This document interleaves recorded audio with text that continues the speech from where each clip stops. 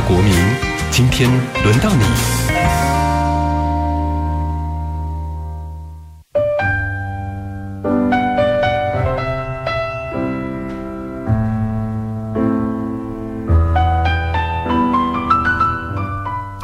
好，欢迎回到 Pop 大国民六点到七点钟第二阶段的时段，我是主持人蔡志平啊。今天我们很开心啊，在现场呢跟各位请到了钢琴演奏家陈瑞斌啊，瑞斌你好，哎，志平大哥你好，好，呃，提到陈瑞斌，当然大家毫无疑问啊，都会竖起大拇指说那是我们台湾的骄傲啊。可是迈向钢琴演奏家这条路，那很多人也很好奇，因为陈瑞斌是非常年轻的时候就到了欧洲啊，你十几岁去的。十三，十三，而且我后来看了很多相关的报道，记得你在当时的演奏会之前接受我的访问的时候，电话连线的时候你也讲了，因为你在很年轻的时候就很独立，那个独立就是要靠自己工作，然后参加各种的演出，所以对你来说的话，出国这件事情不只是一种象征，说离开了自己的故乡，而是根本就代表你自己人生的成长，可以这样说吧？呃，很多都是我在预期之外了。嗯。嗯，那个，因为出国对我来讲太遥远了，然后其实是蛮恐惧的，因为我我其实我第一次坐飞机就是 就是出国，出国，而且就是到 我没有坐过飞机，对，所以呃一一下子那种感觉，我觉得很很彷徨啊，这样，所以至今回想起来，就是呃我我我很很 lucky，我很幸运，我一路走来就是呃是有碰到。挫折但也不少，但是就是都有机会可以克服它，所以到今天我可以继续可以在几道州这样巡演了。现在回想，当时十几岁的一个一个小孩，往欧洲去试探一个未来可能的人生生涯这个新的领域的时候，现在回想了啊，当时凭着是一种什么样的意念？你会你会想象到未来的景象就是现在这样吗？能够在各大洲不断的做巡演？你能想象吗？当时是有有曾经有叫做做白日梦的，就是有这样的企图跟梦想。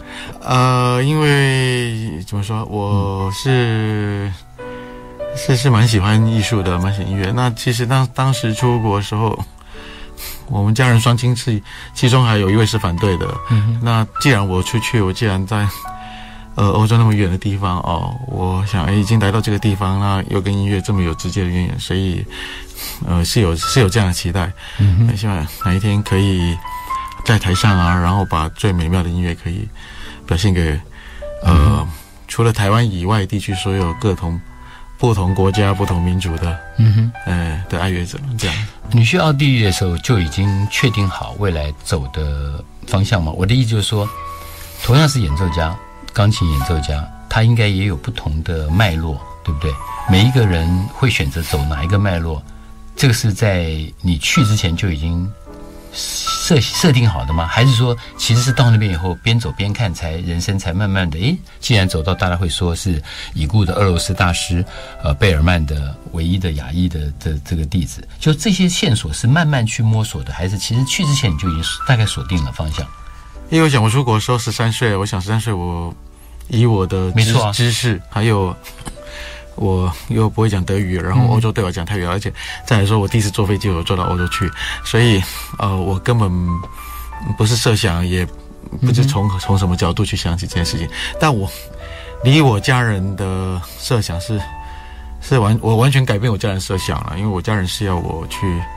呃，念个文凭，然后完了之后，我父亲是老师，所以像他一样这样回到台湾来服务的。哎，这是他们的初设想，这也是他们当初要把我送出国的一个动机。嗯哼啊，那到那边之后，呃，慢慢慢慢的，我有我自己的设想，可能我我也没跟他们。讨论过于实在是太远了，然后呃也不知道从何讨论，然后写写个信也写不完，那 太累了。然后写个信来回来回就要两个月。当时也不是对，当时还是用信的那个阶段，对对航空信的阶段。啊啊啊！所以包括我开始要参赛，国际性参赛比赛也是，也是后来我跟呃主修老师的一个想法跟商量了，完全。其实我家人从我。从我出国我还记得很清楚，我九月我不知道哪一天，九月八号搭的飞机，我记得非常清楚。嗯，啊，九月八号搭下午飞机的，所以我我搭 SAS，我我没有直飞，我坐了二十二十四小时，不转到北欧，然后再转走二十四小时，我记得很清楚。然后我出国的前一十三岁的小孩，在飞机场上，我有跟我父亲通过一次电话。其实那时候我身体状况不是很好了，那我父亲有问过我说。你还坚持要不要要不要飞这一趟啊？嗯，OK。但是我因为我想我已经来到机场了，然后我就我就跟他说，那我我我就飞吧，我就飞飞看呢，是这样。那我我没想到我一飞出去的时候，就好像脱离他们而且他们有点失控，他们也没有也没有预计知道，因为我去了欧洲之后，就整个状况我我我就没有机会再跟我家人去沟通的了，完全都是在我自己的十三岁，十三岁我自己的。边我很后知后觉的啦，边走边看，但是可能也是后知后觉，所以我到今天还是一直在弹钢琴吧。充满了充满了一种呃，我觉得你生命里面充满了一种很纯真的哈，非常纯真的热情。这个这个是你晓得，到了一个呃阶段以后，有了有了名声，有了人生的资历以后，还能有这样子的特质，其实很不容易的。你什么时候开始？在欧洲，在奥地利，你什么时候开始越来越明显的知道自己会成为一辈子的钢琴的演奏家？哦，我从来不知道，我真的不知道，我从来不知道。我说过，那个叫做那个叫白日梦，那个是在做梦而已。可是，但是事实上，嗯，在实际上，呃呃，我我不敢有这种设想。我只是因为我既说说实在的，我们也。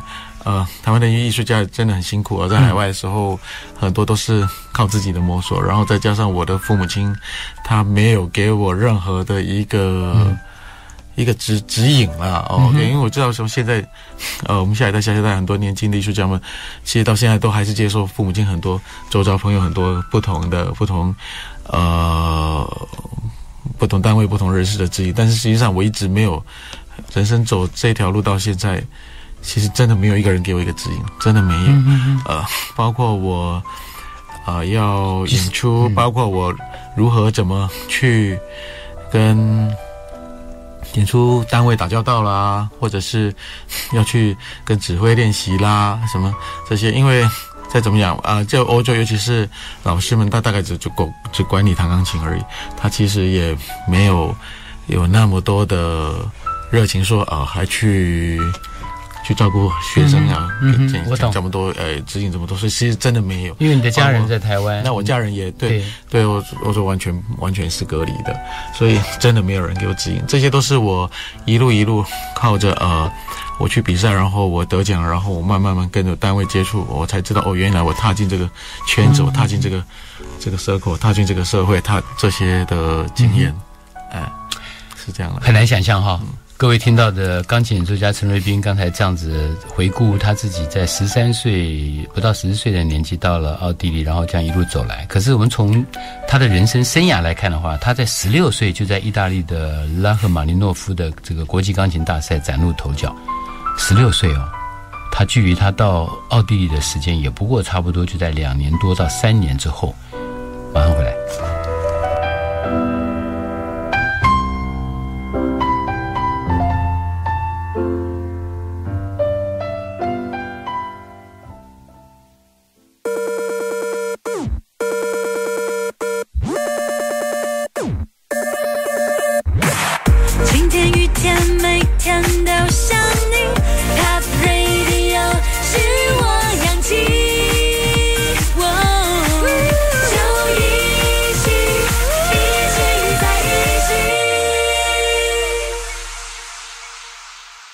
问的是钢琴演奏家陈瑞斌。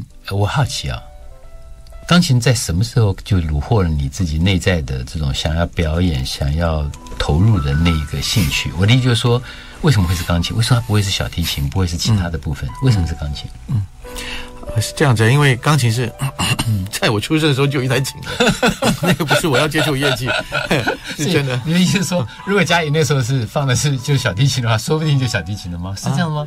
小提琴还有投资价值，还有一个收藏啊。那个我知道，我就比起钢琴来来说了，我所以我们家三个小孩，三个小孩都从事音乐工作，嗯，然后都是从钢琴起家，因为就是有有一台琴已经在那儿，嗯，呃，是这样，所以就是从钢琴。那对。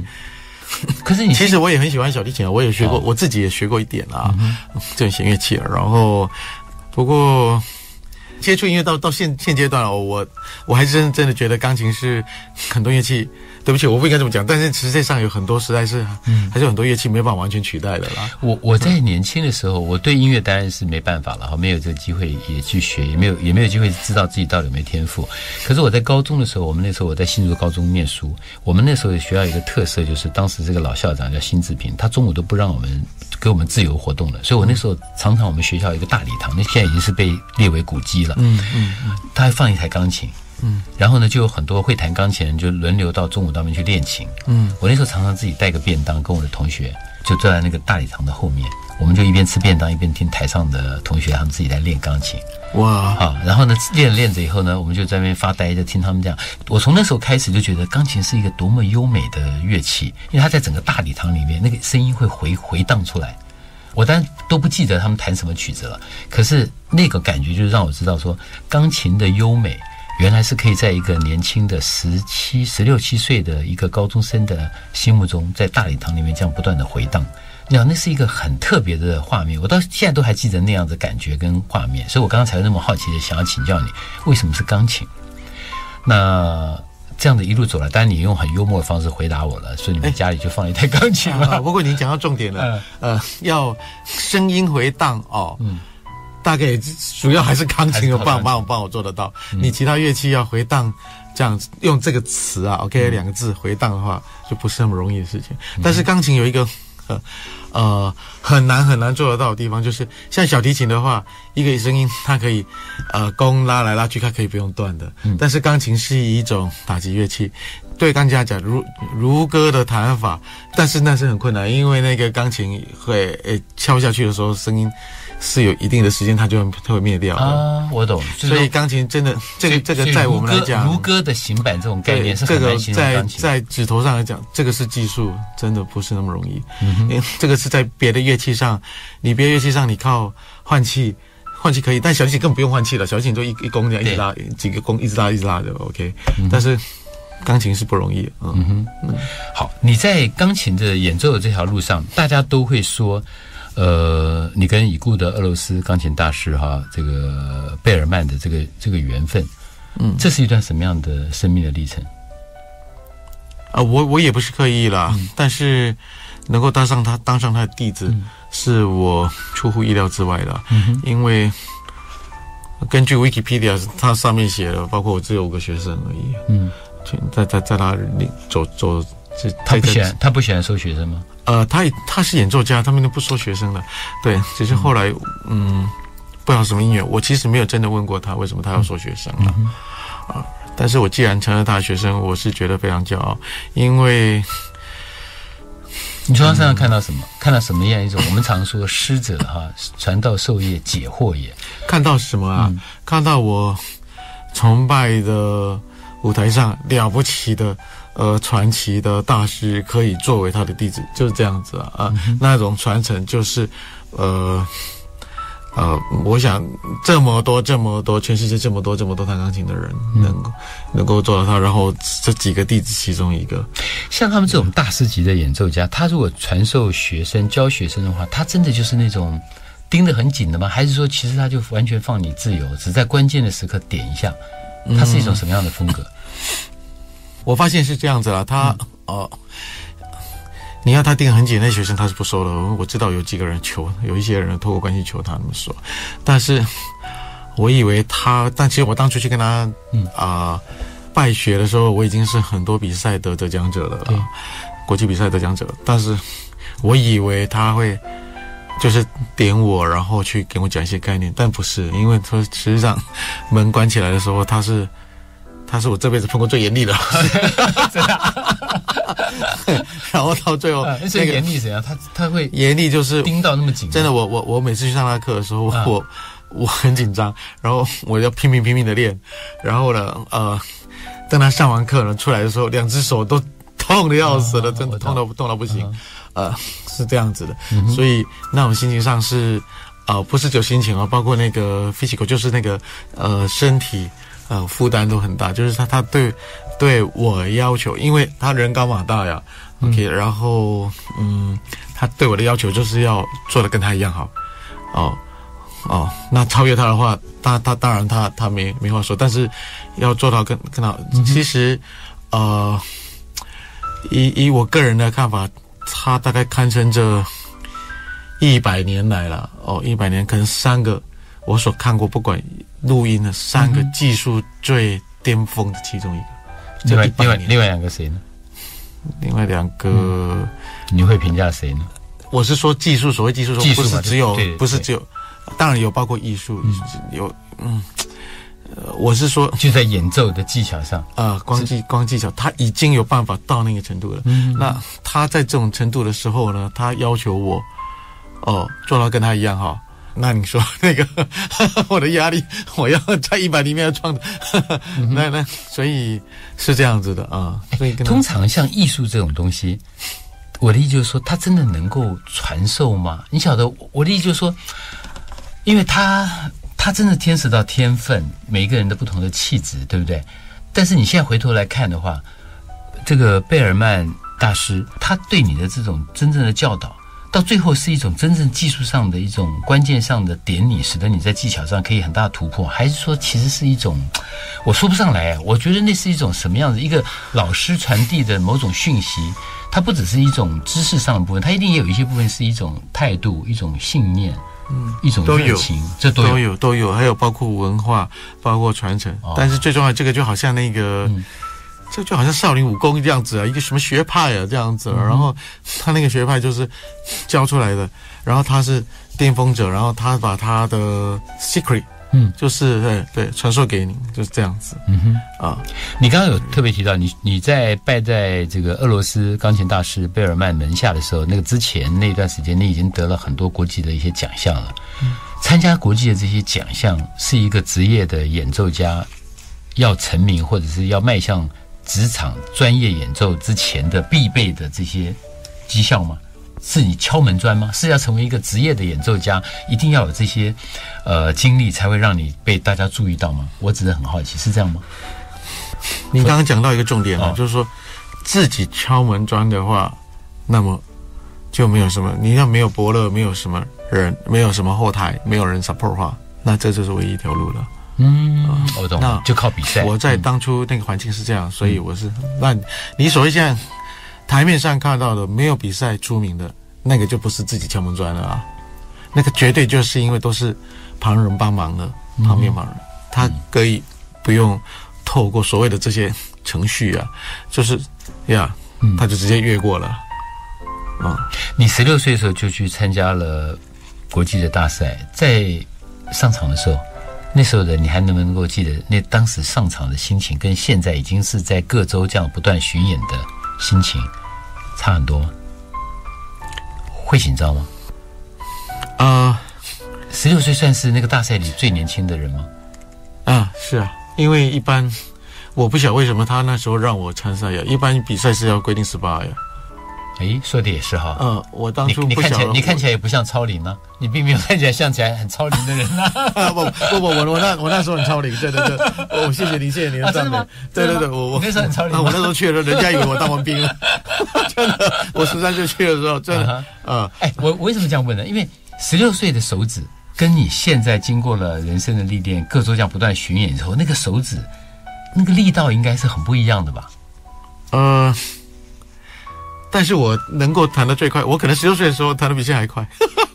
哦，我是有办法做到全怕少壮。我们讲你刚刚讲的武功的一样那个道理。啊，因为我在那个时候的时候，我只我 我心里面一心一直想说，我上去我就要展技术，就是要展现我的技技术。嗯哼。啊，但我现在上台的时候，我的思考不不是只有这这么单纯而已啊。我懂，你看，对。但是所以所以你说光光的真的纯比纯比技术，纯比这个。呃，所谓的功力也有很多种功力，我是说也不一样的学派啊。那我们统称来一个叫做一种学派。但是呀，所以那那个时候我是有办法做到。好，但是作为一个职业的演奏家，我想很多朋友如果去在现场聆听陈瑞斌的钢琴演奏的话，你一定会会非常的呃沉浸在第一个他的技巧当然是没有话说了，但更重要的是他诠释音乐的那个能力。这个部分可能就是他刚才陈瑞斌讲的，十六岁的他也许还没有办法，但是现在的他怎么看待诠释音乐这一个部分呢？马上回来。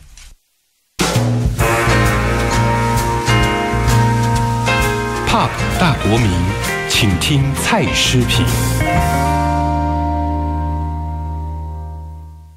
欢迎回到 Pop 大国民。呃，我终于哈在我们的节目当中，呃，能够面对面的访问到钢琴演奏家陈瑞斌了。对我来讲是非常开心的一件事啊！我也非常希望了，透过这个专访，让所有的朋友喜欢音乐的，你可以喜欢陈瑞斌的呃钢琴家的技巧跟气质。那你对音乐还不是那么呃特别了解的，没关系，你可以透过他来了解一个十三十不到十四岁的孩子，就到了奥地利，从那时候开始他就一直在闯荡他的钢琴演奏的生涯。那这个其实是非常励志的啊，非常励志的，可以让很多朋友在这边可以知道人生的不断的往前走，终究你是可以像刚才陈伟斌老师所说的，他也许是白日梦吧，可他就把这个白日梦变成他人生的一个志业了。好，回来我们继续来跟陈伟斌老师聊。刚才我们有聊到，十六岁的时候，你刚刚有讲过，你的指法可能会比后来的你快很多。可是问题是，刚你刚刚也讲到一个关键，我们在诠释一个音乐的时候，这就为什么说同样是呃两三个不同的钢琴家同样演奏一个曲目，可是大家会从这个不同的演奏里面会说，哎，他每个人诠释的方式不一样，有人喜欢 A 的诠释，有人喜欢 B 的诠释，那。诠释这一块你会怎么样来来解释？因为我相信你现在有这么丰富的演奏经验，以后你一定能够来帮助我们了解一个钢琴家同样的谱就在那里，尤其是钢琴独奏就是一个谱就在那，那我怎么去诠释它？诠释到跟其他的人就是不一样，这个微妙之处在哪里？呃，那一个谱到你手上的时候，你是怎么样子去判断？你用什么方法来来切入它？呃，有时候就是，好像时间到了，我就弹得出来了，就这样啊，就这样子吗？啊，你在正式时间时间还没到，呃，我不一定能够。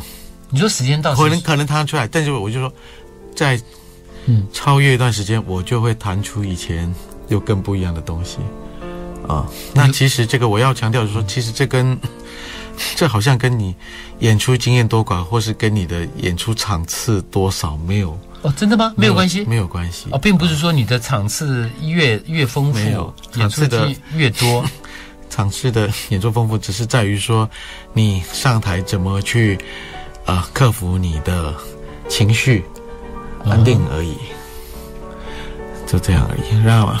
其实，呃，这个。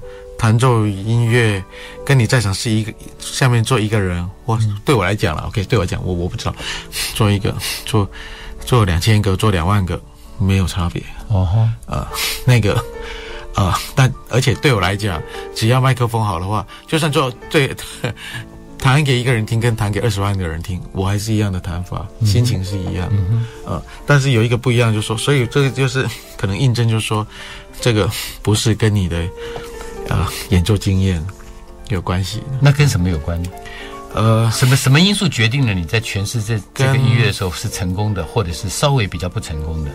什么因素？你指的是艺术上的？对，艺术上的内容是不是？嗯，呃，艺术上的内容，呃，得到你超越了，得到世人的赞叹，肯定跟你的，嗯，啊，应该跟你的人生的过程吧。哦，嗯，我为什么这样问呢？因为我我的好奇是说，比方说，你有没有可能因为在纽约当时的某一种心情之下，你在诠释这个曲目，结果隔着五六年之后，你在台北面对自己故乡的这些听听众，因为两个地方的场地不同，你的年岁也有一段不同，可同样的曲目的时候，你的心境，当时的心境会影响你在诠释它的。那时候的表现会不会有这种状况？会会会，但是绝对不是，呃，不是地点，不是音乐厅。那个有了音乐厅的音响，大家加呃高水平的听众，我想大概只占百分之十而已。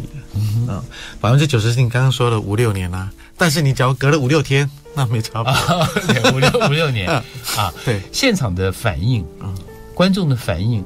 你会做一个演奏职业的演奏家，会会感受得到吗？你会你会受到他们的不能讲影响，会受到他们的不断的诱惑，而让自己越来越，比如说他们越投入，回应的越热情，你的你的曲目的诠释就越会澎湃，越越会更 involve 进去，会不会？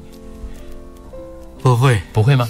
对我不对我来讲不会啊，但是，嗯，观众只要他不要构成所谓干扰，所谓干扰就是让我，您讲了，我正要澎湃的时候，他突然来给我一个干扰，突然发生一件什么事情？我相信，我相信高水准的听众是不会的，不会有这种刻意的干扰。我现在只是讲的是一种热情，比如说，好，为什么这样？我讲，因为我自己做过舞台剧，嗯，我自己在舞台剧上的舞台上的时候，我自己会注意到。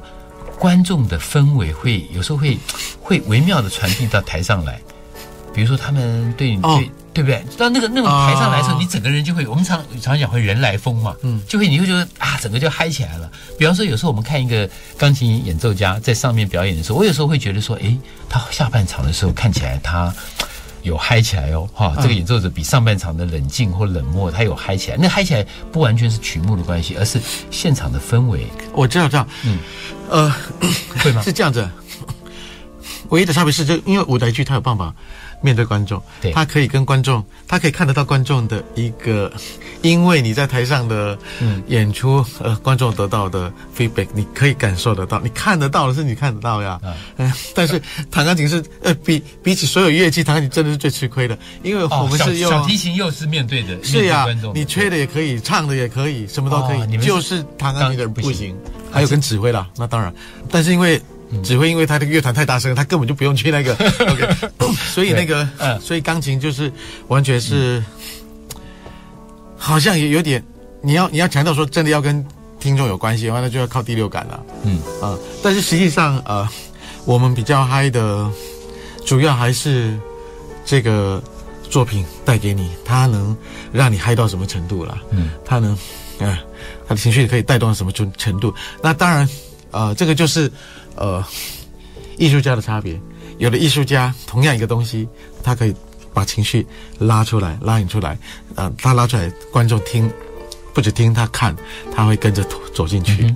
但是有的艺术家，他就比较怎么讲，他就比较交代式的演奏，呃，那那可能就有文字上就诠释，就说他的这个叫理性的演奏，等等等等，那就是看他这种演奏的风格，观众他。喜不喜欢？你是你是你是那种每次经过一次演奏会结束的时候，都有一种虚脱感的演奏家吗？啊，对我大概是回回到台北演奏的时候，我大概是尽我，哎，不过这个嘿还好，我们讲的是 中文，哎，真的是哎，所以到这边的时候，我我每次到台北演完的时候，就好像一种。嗯呀，那不一样心境嗯。可是你晓得，我们去看你表演的人，也许可以替你回答这个问题，因为我们看到了自己是很熟悉的、很渴望的一个台湾自己的演奏家回来了。你晓得，我觉得那个感情还是还是不一样。我们看国外来的，可能把他当明星；可是我们看自己台湾人在海外一样成名的这些演奏家回到台湾来，我们不只是看他是明星，会把他看成是我们的自家人。回来了。哦呀，我觉得那个感觉真的不太一样，所以你同样的，你也一定会感觉到这个感觉，所以就会出现你刚刚讲的，有时候回到台北来演奏反而最虚脱。好，我们访问的是钢琴家陈瑞斌。晴天雨天每一天都想你，Pop Radio 是我氧气，就一起在一起。今天非常开心啊！访问到钢琴家陈瑞斌。我最后要问你的，在这一段，我们来聊聊看，你会多久呃试着去在你的演奏里面曲目的更换？你常常更换曲目，在不同的地方演奏就更换曲目吗？还是说有一些曲目你会试着去挑战它？它也许不是你的呃生命里面的最爱，可是你会试着在不同的年龄层以后，慢慢去试探一些新的演奏的对象，你会吗？呃，都。都会了，都会。但是，呃，要挑战一个曲目的时候，我就必须要，隔起门来啊，哦，大概几个月啊，半年啦，我希望很专注，嗯，这样才我我才有办法抓得到，说我我呃。因为因为挑战一个东西，我知道它有一定的困难度，所以就我比较有这个把握，在能够在完成一部作品之后呀，在一一一个时间一些时间内，我我好奇的问哦，你会受到前辈的演奏家演奏同样的曲目，或者是同辈的？这些演奏家演奏同样的曲目的干扰吗？我所谓干扰是用加个引号，意思就是说你会去看他们的演、听他们的演奏或看他们的演出的这些 DVD 吗？然后来来找出说自己跟他们要不一样的地方，你会刻意的这样做吗？还是说你根本不管别人，你你只要只用自己的方法来诠释？呃，我一直认为艺术这个东西哦，现在尤其这二十年、三十年，我我觉得。那种艺术突然是越来越越失流失了啊，所以其实真的是四五十年前或者更早期这些这那个时代哦，酝酿出太多太多太多伟大的艺术家了，呃，也音也不是只有音乐，太多太多。那到了我们现阶段，呃，这个时代哦，嗯，呃，要追赶真的是有困难度了，真的是有很大困难。我觉得是真的是就是说只有光艺。艺术本身来讲的话，哦，因为那他们那个时代真的是，呃，你所有什么什么商业 promotion 的什么东西，那这个几乎不存在的嘛。他们只是以以好的艺术去博得观众的认同，就这么简单。嗯，但现现在的几乎是倒过来的，所以你现在光艺术本身你要，所以你说哦，我都不去，呃，有时候真的。呃，有很多不一样的，我不管说是艺术了，我走进博物馆也好，我去看画什么的，我都是用惊叹的的表情。我这所以说我甚至说，呃，我在欧洲的时候，我只要一经历去哪个城市，我再去看第二次，再看第三次，那那些房子、那建筑物，就是那几百年还是那，我都还是很惊讶的表情，因为那个东西你根本是在你很多地方，你你你你在大城市，在纽约什么，你不一定看得到了。那呃。所以确实有很多留下很珍贵的东西，但是那个那些珍贵的东西对我来讲是一种养分而已。我呃不会受到他们干扰，那这叫做养分。那呃到最后上台的时候是用我的认知，嗯，是用我对艺术的一种判断，还有我的可能固执吧，都有啊，然后把它演演示出来。我跟我的。老师学习，但是其实我的演奏风格跟我老师有很多时候也是不一样的。嗯即便是弹同样一首曲子，呃，我老师，我我后来看他，不管是他教学或者是他的录音，很多时候他是他比我还严谨啊啊！那他也可能就是因为当时他们在俄罗斯那个时代是非常非常严厉，所以他教我的时候很严厉。嗯，但是当嗯我我给他受训的时候，他年纪也已经六十多岁了。所以，呃，我现在都还也没有那种年龄，所以，当我从那个时候学习到现在的，对不对？这个这从从十几二十岁我跟他学的嘛，到现在那那也是这，反正我我我觉得现在我还有我还我还离六十九岁还一大段距，所以就是说，呃，整个，嗯，还有在包括说我说过这一百零年的有这么多伟大的艺术家们，都真的是那个是一个很好的养分呢。嗯哼，哎，作为一个演奏家。特别是在钢琴这个领域里面，它通常它的演奏的寿命大概可以拉到多大？呃，是这样子啊。我觉得只要你你在台上，观众喜欢你，你弹你弹，观众喜欢你的表演，其实没有没有什么。没有，我觉得只要你还你还你还可以走得出去，他他并没有什么生理上的极限，是使得一个钢琴演奏家说，也许到了七十岁，你也你也许到了七十几八十岁，你没办法。呃，把钢琴敲的那么响啊，嗯，哎，就是说钢琴必须是很多时候需要用敲的，但实际上钢琴除了敲以外，它还有很多弹出来很优美的东西，让人家很感动的。在音乐厅，你刚呃，我们回到最初你说回荡，呃，回荡不一定要用敲的啦，对不对？呃，回荡有时候是一种音乐的美，也是一种回荡，它声音传递出去，它也可以回荡。你刚好刚才你前面。有提到十六岁的时候的指指法和指力，现在有提到，也许八十岁以后那种回荡的感觉反而能够诠释出来。好，那你已经过了十六岁那个阶段，但是迈向八十那还早得很。现在的你，嗯，会是你的演奏的所有的技巧、智慧、成熟度最好的阶段了吗？呃，我希望不是哎，你还你还没有，我希望还可以再更，希望再往前走，还还还可以再继续往前走。呃，但是，嗯。我现在当然，这现在我我可以，当你走进走进博物馆去看的画哦，你的心情，你看画的欣赏，你看你发现画的美跟发现画，你看不一样画的角度跟以前不一样，那那我想我在钢琴上就有办法进步。那同样道理，当然我在二十年前我进去，二十几年前我进去博物馆看画，我是看不懂的。嗯，一对啊。啊，那就是现在的我一样啊。那但我希望我，我希望还还不是最好的我，我希望还可以再更好。这我这我相信，因为以表演的生涯来讲的话，陈瑞斌现在等于到了人生开始进入到一个非常好的一个阶段，也技巧成熟，诠释音乐的能量饱满。嗯，然后自己对生命的体悟有更深一层的认识，然后。我觉得更重要一点是巡回巡演各州之后，那个累积出来的啊，充沛的对于人生的旅行的这种各种的经验，大概所有的条件都浮凑出一个最好的阶段，要要开始了嘛？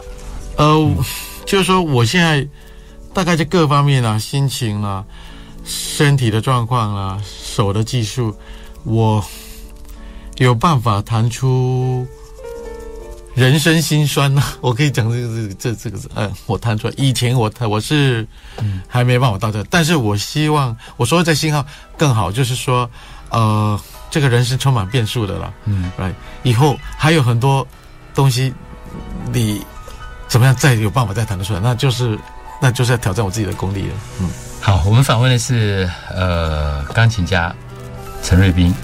很多人都形容他有一个天使般的灵巧的手指，那我们讲再多都没有用，各位应该要听他的演奏，特别是在他的现场去看他的演奏的时候，你就知道什么叫做陈瑞斌的演奏的模式和他的魔力了。很开心哈，今天我访问到了钢琴家陈瑞斌，也非常希望这一小时的访问让各位能够对于一个钢琴演奏者的心路历程有更深刻的贴近。当然，更重要一点是。你要认识这位台湾的钢琴演奏家陈瑞斌，谢谢瑞斌哦，谢谢谢谢瑞斌大哥。好，五点到七点节目今天到这里告一个段落了，待会请各位继续收听由 DJ 俊昌为各位主持的 What's Up Music。当爱无着意，当你换地点，临别这刻赠送我手中颈链，拥抱着沉默半天。这个特别章，犹如勋章，曾在那天受过你刀枪火伤，我便成为上将。如何想过，如何冲锋过，临别你用特别办法褒奖我，无人再呐喊来为我庆贺，只记着我试过勇敢渡河。如何想过，仍然冲不过，荣誉是以上言论不代表本台立场。Pop 大国民节目制作人蓝婉珍，企划制作邱正豪。接下来请继续收听。What's up, music?